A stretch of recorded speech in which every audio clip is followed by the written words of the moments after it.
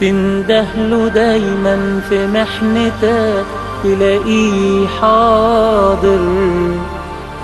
وفي خدمته وفي رحلته تلاقيه مخاطر راعي وأب حنون منصح وكاهن رحلين معاه ومبحرين جوا الخواطر.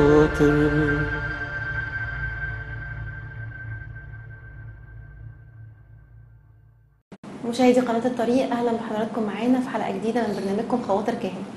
برنامج خواطر كاهن زي ما حضراتكم اتعودتم دايما بيقدم فضايل مختلفة في كل مرة. النهاردة هنتكلم عن فضيلة الرحمة وفضيلة الرحمة فيها تفاصيل كتير وفيها حاجات حلوة كتير نقدر نتعلمها. اسمحوا لنا النهارده نرحب بقدسابونا اللي بيشرفنا وينورنا. قدسابونا بنيامين بدوي اسكندر كاهن كنيسة ماري جرجس عزبة رفائيل إبراشية القصية. أهلا بقدسك يا بونا. أهلا بيك. آه، قدسك شرفتنا ونورتنا النهارده. نورك. تعيش يا قدسابونا النهارده هنتكلم عن الرحمة. مم. وأكيد الرحمة يعني هي فضيلة حلوة قوي ونحب إن إحنا نقتنيها. ونحب إن كل المشاهدين كمان يعرفوا تفاصيل أكتر عن الرحمة. إحنا عايزين في البداية نعرف بس مفهوم الرحمة إيه. بسم الاب والابن والروح القدس الاله الواحد امين. آه، حقيقة فضيلة الرحمة من الفضائل ال- الكتاب المقدس يعني مليان شواهد آه، بتتكلم عن الرحمة. آه، ده معناه إن دي فضيلة مهمة جدا جدا جدا جدا جدا في حياتنا المسيحية. مفهومها ببساطة آه، غير إن هي واحدة من الفضائل اللي, اللي تحلى بها السيد المسيح له كل المجد في حياته على الأرض وده كان واضح وملموس.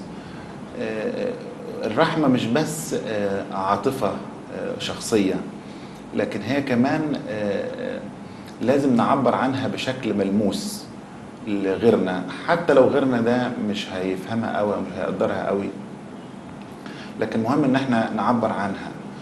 وكلمة الرحمة حتى في النص العبري معناها الأحشاء أو الرحم اللي هو آه، كأن الإنسان بيطلع الأحشاء بتاعته والرحم اللي بيحتضن الجنين في بطن أمه آه، يخرجها للناس عشان تبان الرحمة آه، للآخر. حتى لو ال- الآخر ما ما قدرهاش قوي لكن من باب الأمانة المسيحية والشخصية أنا بقدم الرحمة بتاعتي لكل اللي حواليا اللي بتعامل معاهم.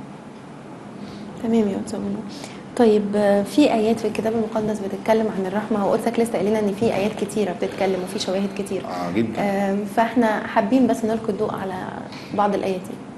الكتاب المقدس مليان كتير آه، عن و- وركز قوي على رحمة ربنا في تعامله مع ولاده سواء كان في العهد القديم أو في العهد الجديد.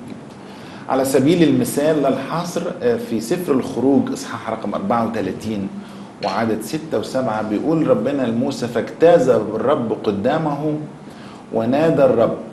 الرب إله رحيم. رحيم. أول صفة. في كلامه مع موسى. ورؤوف بطيء الغضب وكثير الإحسان والوفاء. حافظ الإحسان إلى ألوف غافر الإثم والمعصية والخطية. أول صفة قالها ربنا لموسى رحيم. عشان يوصف نفسه ربنا إنه أنا إله رحيم. يعني عايز يطمنه يقول له ما تقلقش. حتى لو حصلت حاجة في السكة أثناء خروجك ما تقلقش. تمام. فمزمور بقى سفر المزامير داود النبي مليان اللفظ ده. اللفظ ده تحديدا لفظ الرحمة أو رحوم. أو ارحمني أو الألفاظ المشابهة لي يعني في مزمور 86 بيقول أما أنت يا رب فإله رحيم ورؤوف طويل الروح وكثير الرحمة.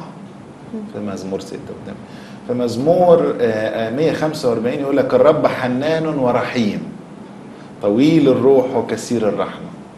في مزمور 85 يقول له أرنا يا رب رحمتك. أرنا رحمتك. نفسنا نشوف يا رب رحمتك. عايزين نشوفها بشكل ملموس. من ضمن الصلوات اللي كانوا بيصلوها. في العهد القديم. أرنا رحمتك واعطنا خلاصك.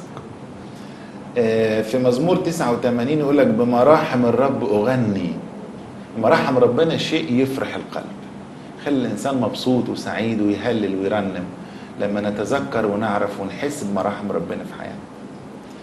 في مزمور بقى 103 ده فيه خمس ألفاظ عن رحمة ربنا. مزمور 103 بيقول ب- اللي هو بدايته بارك يا نفس الرب ولا أيوة. تنسي كل حسناته بارك يا نفس الرب وكل ما في باطني يبارك اسمه القدوس في عدد أربعة يقول الذي يفدي من الحفرة حياتك الذي يكللك بالرحمة والرأفة. شوف يكللك بالرحمة بالرحمة يقول لك إكليل كده برحمة كأنه يحوط عليك برحمته مم. في عدد 8 يقول لك الرب رحيم ورؤوف طويل الروح وكثير الرحمة في عدد 11 يقول لك لأنه مثل ارتفاع السماوات فوق الأرض قوية رحمته على خائفيه. شوف قوة رحمة ربنا وشبهها إزاي. مثل ارتفاع السماوات على الأرض شوف المسافة قد إيه؟ قوية رحمته على خائفيه. في عدد 17 يقول لك أما رحمة الرب فإلى الدهر وإلى الأبد على خائفيه وعدله على بنيه البني. ده في العهد القديم. في العهد الجديد نلاقي في الموعظة على الجبل طوبى للرحماء لأنهم يرحمون يا بختهم حطها أساسي في التعليم الأساسية المسيحية الأولى طوبى للرحماء لأنهم يرحمون. وقال في لقا ستة كونوا رحماء كما أن أباكم أيضا رحيم. أيوة. يعني خليك رحيم وتشبه بسيدك لأن هو كمان عنده نفس الصفة. فربنا عاوز يشبهنا بيه من ضمن الصفات الحلوة بتاعته. هو واضح و- كمان من كتر يعني من كل الآيات إن دي صفة موجودة في ربنا آه، بقوة يعني موجودة واضحة, جدا. واضحة, آه. واضحة جدا. واضحة جدا إنها صفة من صفات واضحة ربنا جدا يعني. بالكلام بالتصرفات والأفعال وال وال وال والواقع أكتر من الكلام. بالظبط بالظبط. يعني حتى وكمان الآيات يعني لما آه، نعرف بعد طبعا. شوية هنلاقي هو كده. ال ال ال في مثل السامر الصالح يقول لك ولكن بعد ما الراجل المجروح والمهان مرمي على الطريق عدى الكاهن وعدى له ما اهتموش بيه. يقول لك ولكن سامريا مسافرا جاء إليه ولما رآه تحنن. تحنن. تحنن يعني أحشاء الرأفة والرحمة اللي جوه قلبه ابتدت تطلع. ما ما اتكلمش ما عص وعظ عن ال- الرحمة. لكنه ضمت جراحاته و- وداه الفندق واعتنى بيه ودفع فلوس من غير ما يعرفه هو دي أحشاء الرحمة اللي إحنا بنتكلم عليها. كمان في في صلوات الكنيسة في صلاة نصف الليل بنصلي ونقول ليس رحمة لمن لم يستعمل الرحمة. ده ده ده وعد بقى. مش مش هتستعمل الرحمة في الأرض يبقى ما تطلبش الرحمة من ربنا فوق. صح. في حتى في في القداس إحنا بنصلي لحن صغير كده بس مخيف. آه، آه، الأب الكاهن بيصلي في القداس يقول لك سيأتي ويعطي كل واحد فواحد بحسب أعماله. الشعب يخاف بقى يقول لك كرحمتك يا رب. وليس بخطأ. وليس كخطايا ما نقدرش ما نقدرش تعاملنا بحسب بحسب أعمالنا لأن بحسب أعمالنا احتمال كبير نخسر. فالكنيسة كلها بتصرخ وتقول كرحمتك يا رب وليس كخطايا خطايا في الصوم الكبير عشان ترتبط الرحمة بالفضائل الثانية والصوم بنصلي دايما مرد في اثناء التناول طوبى للرحمة رحمة على المساكين. لأن الرحمة تحل عليهم. تمام. المسيح يرحمهم في يوم الدين ويحل ويحل بروحه الصفر حلو خالص. آه طيب آه، من كلام قدسك آه، أقدر أعرف هل في علاقة ما بين الرحمة والعدل؟ ولا هم كل واحدة صفة على حدة؟ يعني ما فيش علاقة بينهم. آه، بلا شك آه، إذا اتكلمنا عن رحمة ربنا في الكتاب المقدس آه، ضروري هنحط جنبها العدل. وده مش كلام تأملات ولا حاجة لكن ده كلام داود النبي نفسه بيقول لك في مزمور 85 الرحمة والحق تلاقيا. تمام. الرحمة والحق تلاقيا. صفة من صفات ربنا الرحمة. وصفة من صفات ربنا العدل. فرحمة ربنا رحمة عادلة. وعدل ربنا عدل رحوم. رحوم. في ارتباط. ففي ارتباط وده ظهر قوي على الصليب طبعا. تمام. رحمة فعلا. ربنا ظهرت على الصليب وعدل ربنا تحقق على الصليب. يعني في علاقة ما بينهم وعلاقة قوية كمان. طبعا. تمام يا ماما، تمام آه طيب آه الرحمة الجميلة دي إزاي إحنا نسلك بيها في حياتنا؟ آه، زي ما تعودنا في كل مرة بنعرف الفضائل الجميلة دي إزاي بنمشي بيها في حياتنا ونسلك بيها علشان خاطر نقدر نستفيد. إزاي نسلك بالرحمة في حياتنا؟ يعني زي كل الفضائل لازم نمارسها. يعني مش هينفع نتكلم عن فضيلة بدون عمل. مش هينفع نتكلم عن الرحمة بدون ما نمارسها. ومش هينفع نمارسها غير لما نعرف العمق الحقيقي بتاعها. العمق الحقيقي بتاع الرحمة على كل إنسان يعرف ويحط دايما وصية ربنا قدامه. هو ربنا اللي وصانا بكده. وصانا وصية لصالحنا. وصانا وصية لخيرنا. وصانا وصية عشان ندرك حقيقة وجودنا في حياتنا على الأرض. فهو قال كونوا رحماء. كونوا رحماء. كما أن أباكم رحوم. يعني يعني بيقول لك تشبه بيا. آه، أنا رحوم خليك أنت رحوم كمان زيي.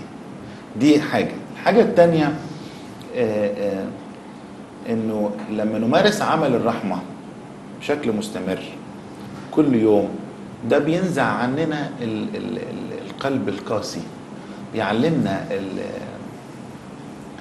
بيعلمنا إزاي نتعامل بال- بالفضيلة دي مع غيرنا. ايا كان غيرنا بقى ضعيف مكسور مجروح مهان. لما أتعامل معاه بالرحمة أنا كده زي مسيحي. تمام. آه هو في سؤال بس في الجزء ده يعني هل الرحمة فعلا هي بتبقى فضيلة في الإنسان يقدر يقتنيها؟ ولا هي بيبقى طبع أكتر؟ يعني هو بيبقى شوية متطبع بأن هو طالع عنده رحمة على اللي حواليه على أهله على كل اللي بيتعامل معاهم في خدمته وفي كنيسته. هل ده طبع ولا هل دي الرحمة دي فضيلة ممكن نقتنيها؟ يعني ممكن مع الوقت نتدرب عليها ن- نقدر نسلك بيها ولا ملهاش علاقة؟ لا طبعا ليها علاقة لأنه آه، كل إنسان فينا بيتولد في أسرة ليها طبع معين. فيجوز يكون الإنسان اتولد في أسرة آه، بتتعامل بالرحمة والرأفة والحب والاحترام لكل إنسان خصوصا الناس ال- الفقراء والمساكين والمرضى والمحتاجين وغيره. فتلاقي الطفل يطلع يتطبع بالطبع بتاع البيت بتاع بابا أو بتاع ماما أو بتاع أخوات الكبار. لكن كمان في نفس الوقت هي الفضيلة دي محتاجة نمارسها عشان نكبر فيها. أنا محتاج أعمل أعمال رحمة. مش هكتفي بال... بال... باللي أنا خدته من بيتي لكن كمان أنا همارس أعمال الرحمة دي عشان آه، آه، أحس بوجود ربنا في حياتي من خلال فضيلة أنا بتشبه بيه من خلالها. تمام. يعني هل هل بينفع إن إحنا نمارسها؟ يعني ينفع إنسان مثلا شوية عنده يعني ناحية مثلا قساوة. آه آه في شوية قساوة يعني. هل بينفع إن إحنا نوجه حد زي كده ونقول له لأ خليك رحوم مع حد آه خليك مع إخوة الرب شوية الدنيا آه يعني خل ادي وخليك رحوم عليهم. هل ده بينفع؟ بينفع؟ هل بيعرف يطبقه؟ حتى حتى مع الوعظ ومع الكلام. فده ده هيفيدنا جدا. هيخلي مثلا ال- الناس دلوقتي وهي بتتفرج علينا تبقى عارفة فعلا هتقدر تعمل كده ولا لأ؟ يعني أنا أنا معاكي في حتة إن إحنا نرشد ونوعظ عن الفضائل وخصوصا الرحمة. تمام. لكن آه، أنا شايف إن الوعظ مش كفاية. يعني لازم أنا عشان أسلك في هذه الفضيلة لازم أحطها هدف من أهداف حياتي. أحطها هدف وأعمل ممارسات عملية وتطبيق عملي وواجب شخص أعمله عشان أتمرس فيها. محتاجة أب الاعتراف يكلمني بشكل شخصي. محتاجة المرشد الروحي بتاعي يكلمني بشكل شخصي. محتاجه أنا كمان أقرأ النصوص في الكتاب المقدس تعلمني يعني إيه فضيلة الرحمة. القراية كويسة والوعظ حلو لكن لازم أعمل حاجة عملية بشكل وإني آخد قرار إني أقتني الفضيله دي أنا هاخد بشكل قرار. مستمر آه. وآخد قرار إن ده يبقى هدف من أهداف آه، حياتي خصوصا حياتي الروحية. طبعا لأن دي مش علاقة اجتماعية آه، فقط لكنها كمان الأقوى إن هي علاقة روحية بيني وبين بيني ربنا. لأن اللي بيعطيني هذه الأحشاء والرأفة وال وال والحب وال والرحمة هو ربنا وبيقول لي استخدمه.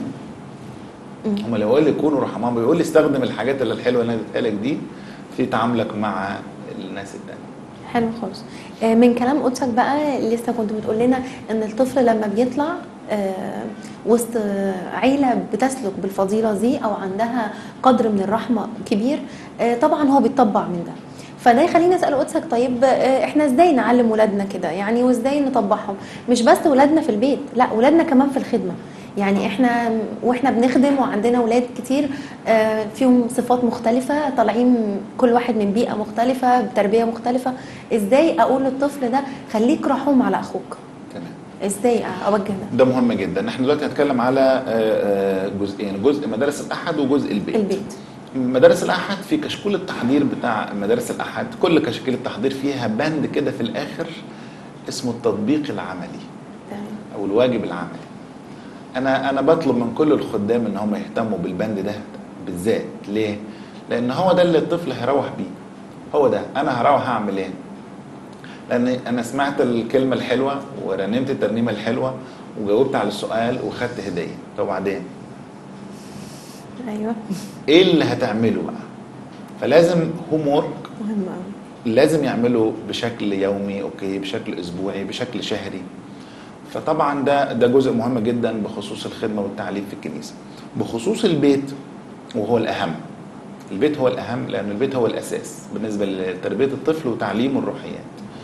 أنا بشوف إنه لازم نعمل آه، دافع للطفل ونحفزه إنه يشعر بالضعيف والفقير والمسكين والمجروح والمريض واليتيم. لازم الطفل يشعر بيهم لأنه ده حاجة ملموسة بالنسبة له. يعني مثلا نتخيل لو ادينا الطفل واجب مثلا ياخد من مصروفه بشكل شهري ويجيب حاجة آه، معينة ويحطها في الكنيسة للناس الفقراء أو الناس المس- أو ياخدها ويديها لحد آه، من الناس اللي يعرفهم ده حاجة لما الطفل يتعود عليها ياخد من حاجته ويدي غيره الفقير ده هو كده بيمارس عمل الرحمة من غير ما يعرف الكلمة حتى. أيوة. هو من غير ما يعرف هو ده حاجة كويسة هيفرح بيها. ممكن كمان ندي الطفل واجب عملي تاني انه إحنا نزور مثلا ملجأ أيتام. ناخد ولادنا ونروح نزور ملجأ أيتام. في ناس بتعمل كده في الأعياد. يعني آه. بيقضوا العيد في إحنا مش عايزين نملك الأعياد بس إحنا عايزين نعلم الطفل حاجة ويتمرس عليها كويس. آه إن هو يبقى بشكل مستمر وتصير يعني. حواسه مدربه إن إحنا نعملها بشكل مستمر. نزور مستشفى. جنبنا جنب الكنيسة ولا جنب البيت. نزور ملجأ أيتام. نروح نقعد مع الناس الفقراء ون... ون... ونديهم. حاجة كويسة من من حاجاته الشخصية. ي... ي... ي... ي- ينسلخ من ذاته ويعطي الآخر. مش دي مش بس عطاء مادي لكن هو بيشعر بالآخر عن طريق فضيلة الرحمة اللي إحنا بنزرعها فيه. تمام. آه طيب يا صابونة أكيد في كل مرة بنتعلم إن في شخصيات من الكتاب المقدس بتسلك بالفضائل اللي إحنا بنتكلم عنها. أكيد طبعا آه، لأن الرحمة آه، شيء مهم وفضيلة مهمة أكيد في في الكتاب المقدس آه، شخصيات كتير سلكت بيها. فمين من الشخصيات؟ يعني طبعا لو هنتكلم على الرحمة في الكتاب المقدس وخصوصا في ال في, ال في النصوص اللي إحنا قريناها من شوية في العهد الجديد مش هنلاقي أكتر من ربنا وإلهنا الصالح يسوع المسيح. أكيد. آه كلي الرحمة. كل الرحمة. طبعا. مش هنقدر نوصف أكتر من كده. كلي الرحمة لكن ناخد بعض النماذج في العهد الجديد. آه آه مبدئيا كل اللي طلبوا من المسيح ارحمنا يا ابن داود أو ارحمنا يا ابن الله كل اللي طلبوا الرحمة خدوها. يعني هو ما كسفش حد. يعني الأعميان طلبوا الرحمة شفاهم. بعد ما اتأكد من إيمانهم طبعا. آه، في في متى تسعة؟ في في لوقا 18 الأعمى قال له يا يسوع ابن داود ارحمنا. طلب رحمه اداها له شفاه في معجزة شفاء الأبرص يقول لك تحنن يسوع ومد يده ولمسه تحنن استخدم الأحشاء آه. آه. ال- ال- ال- المرأة الخاطئة الإنجيل المشهور في لقا سبعة المرأة الخاطئة ده كان قمة رحمة ربنا على الخطاة البشر كانوا بينظروا لهذه المرأة نظرة آه، قاسية. لكن هو نظر إليها بالرغم أن هي خاطئة ومعروفة في المجتمع إلا أن هو نظر إليها نظرة رحمة. رحمة. هي هي هي واحدة من ضمن ولادي اللي تست اللي تستحق الرحمة. وقد كان واتغيرت حياتها من بعد هذا اللقاء. المرأة الكنعانية قالت له ارحمني يا سيد يا ابن داود ابنتي معذبة جدا أو ابنتي مجنونة جدا. متى 15 بعد ما اختبر إيمانها اداها اللي هي عايزاها عشان قالت له ارحمني. في في مجنون مجنون لاجئون كرة الجدريين. بعد ما ربنا شفاه قعد بقى جنبه وعاوز يقعد بقى. لما لو بقى لابسا وجالسا وعاقلا قعد جنبه عاوز يسمع. المسيح قال له لا ده أنت تذهب إلى بيتك وإلى أهلك واخبرهم كم صنع الرب بيك ورحمك. وجاب له سيرة الرحمة برضه. شفاك؟ معناها رحمك. رحمك من العذاب من العذاب اللي, اللي انت كنت فيه آه انت كنت طبعاً. عايش في دنيا تانية. أكيد. هو ادالك الرحمة بتاعته. روح قول للناس بقى. يعني انت روح خليك خادم ما تقعدش جنبي. انت تروح تبشر. تمام. الفريسي والعشار مثل مشهور جدا في لوقا 18 الفريسي والعشار. من المفترض إن الفريسي يصلي صلاة جميلة. آه طبعا. والعشار يصلي لله. صلاة أي كلام. أو ممكن ما يعرفش. الفريسي متدين وفاهم ودارس وحافظ الطقوس وحافظ التقاليد وعارف الشريعة كويس. لما جه صلى صلى صلاة كلها كبرياء. اللهم أشكرك إني لست مثل باقي الناس الظالمين الخاطفين الزنا ولا مثل هذا العشار. احتقار بقى. أنا اصوم مرتين في الأسبوع وعشر كل أموالي وصلاة كلها كبرياء. طب. شوف العشار بقى. أما العشار فوقف من بعيد لا يشاء أن يرفع عينيه نحو السماء.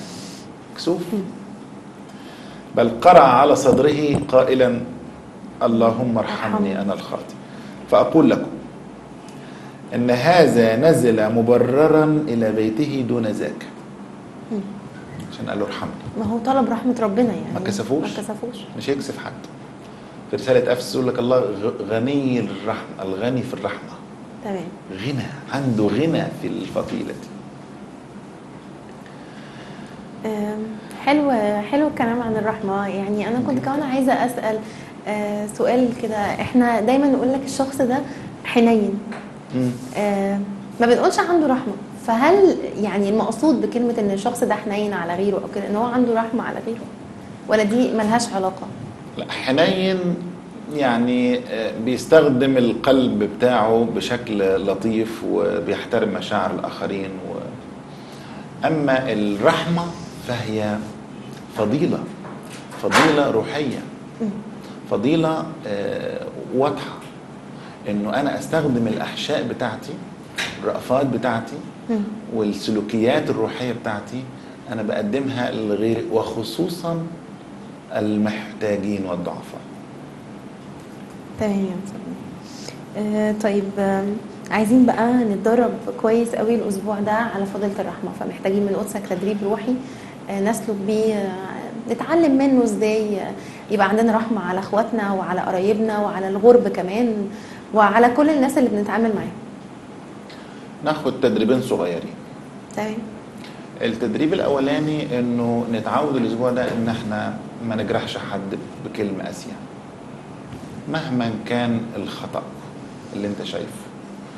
آه، خلينا رحومين بالآخرين حتى لو أخطأوا. التدريب التاني ممكن تدريب مادي شوية ممكن آه، نوفر جزء من من مدخراتنا الخاصة ونعمل بيه عمل رحمة أسبوعي. اسبوعي اسبوعي أو شهري على حسب على حسب الإمكانية وضع يعني. امكانيه الأسرة. تمام وال وال وال والمدخرات دي ناخدها بقى من بابا ومن ماما ومن الإخوات. يجمعوها كده مع بعض ويعملوا بيها عمل رحمة ايا كان عمل رحمة شكله إيه. ده يبقى تدريب جميل قوي جميل خالص يا وتسابون آه، الحقيقة إحنا استفدنا كتير قوي من الكلام عن الرحمة ومن كلام قدسك الجميل والتفاصيل عن فضيلة الرحمة. آه، إحنا بنشكر قدسك شكرا جزيلا قدس ابونا بنيامين بدوي اسكندر كاهن كنيسة مارجرجس عزبة رفائيل إبراشية القصية. شكرا جزيلا قدس ابونا شكرا جزيلا. في النهاية مشاهدينا بشكر حضراتكم على حسن المتابعة. على وعد بلقاء متجدد الأسبوع القادم وإلى اللقاء.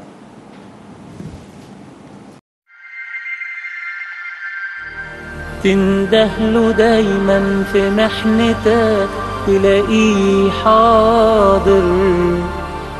وفي خدمته وفي رحلته تلاقيه مخاطر. راعي وأب حنون منصح وكاهن. رحلين معاه ومبحرين جوا الخواطر.